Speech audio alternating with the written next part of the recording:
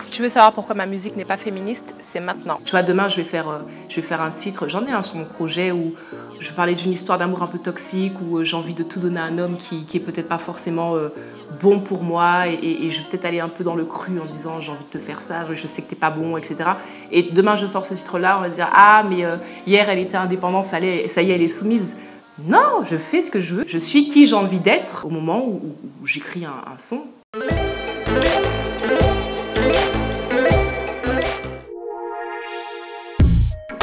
Alors, je suis Rachel Allison, je suis chanteuse euh, de la Guadeloupe d'origine, et plus précisément de Basse-Terre. J'aime bien préciser que je suis de Basse-Terre. J'ai fréquenté des studios très jeunes, donc euh, vers 13-14 ans, mes premiers studios. On a grandi dans, des HLM, et du coup, quand tu chantes dans ta, salle de bain, c'est tout le quartier qui entend.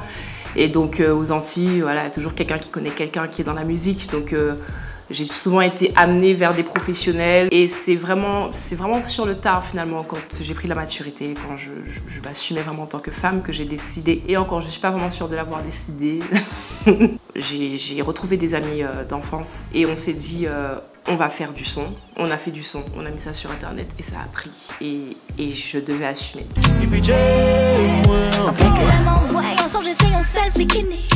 À mes débuts, on a voulu me mettre dans une catégorie et je ne rentrais pas dans la catégorie dans laquelle on, voulait me mettre. Les femmes faisaient surtout du, zouk, donc on avait un peu de mal avec ça. Je vais faire du dancehall, j'aime beaucoup le R&B.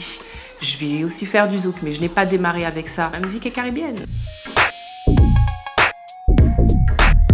C'est vrai que euh, dans le titre Forme c'est diable, je dis non, pourquoi vous dites ça? Mais quand même, je pense que un petit peu, oui. Toujours.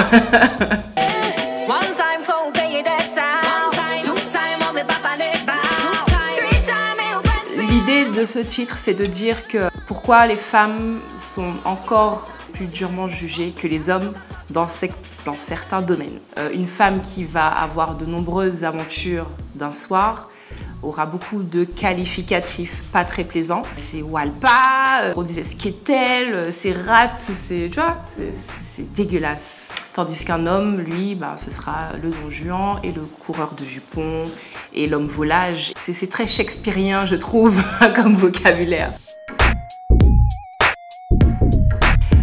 Euh, mon fameux projet je devais sortir un EP en fin d'année, mais bon, le contexte sanitaire, le deuxième confinement, ça nous a un peu euh, coupé l'herbe sous le pied. Finalement, on sortira quand même ce projet qui a été reporté, mais du coup, on a pris le temps de vraiment l'étoffer. Et donc, il sortira premier trimestre 2021 si tout va bien. On me connaît pour justement avoir un peu la bougeotte et pas rester sur un style, donc euh, je pense que je vais surprendre avec un titre en particulier. J'ai tellement hâte qu'il sorte, mon Dieu. Et ensuite, euh, des collaborations, mais bon, ça, je m'en suis pas cachée. Hein. J'étais sur Paris avec Meryl il y a longtemps. Euh, il y a Mata aussi, il y a Joker. Voilà, pour n'en citer que quelques-uns, euh, c'est déjà bien.